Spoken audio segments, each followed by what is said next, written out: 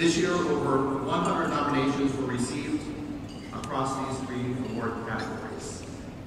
A special awards committee comprised of a diverse cross-section of our community reviewed these nominations and made selections based on predefined criteria. Here to join me today in presenting the awards are Ibu Ambar Rahayu, Deputy Chair of BKKBN, and Michael Klag, Dean of Johns Hopkins Bloomberg School of Public Health. Please join me on the stage. The team award is given to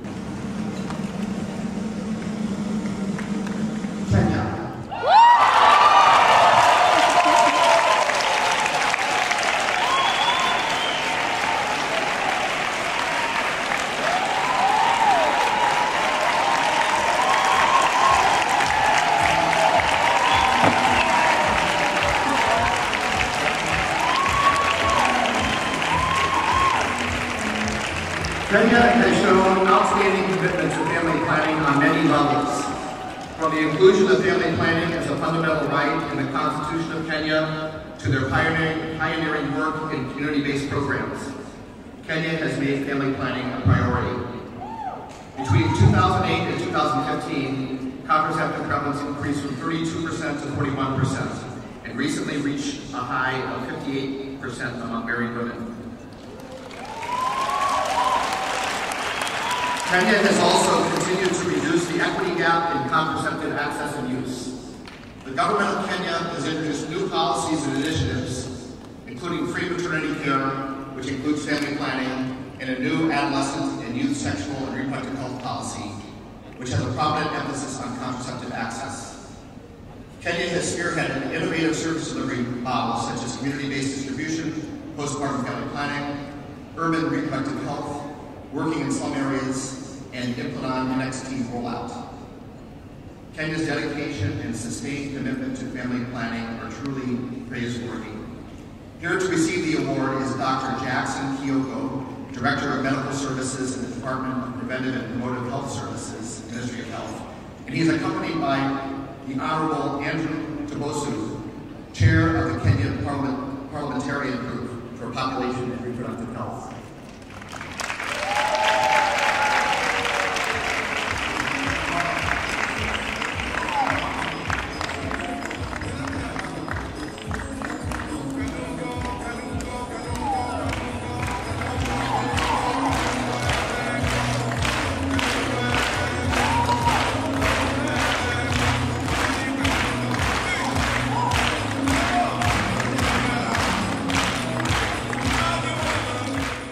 Know Kenya.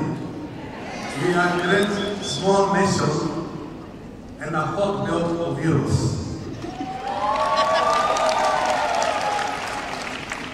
We not only produce world champions in athletics, but we also produce renowned world leaders. And you know what I mean?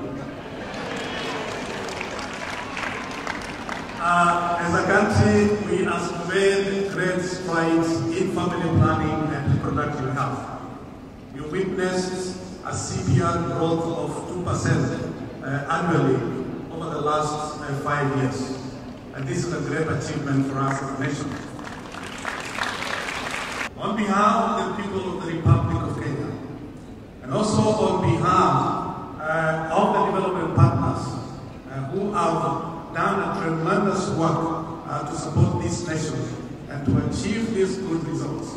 Uh, and also uh, the members of parliament who are also here uh, happily to accept and receive uh, this award. Thank you very much. Thank you very much. And God bless Kenya. God bless everyone. Thank you very much.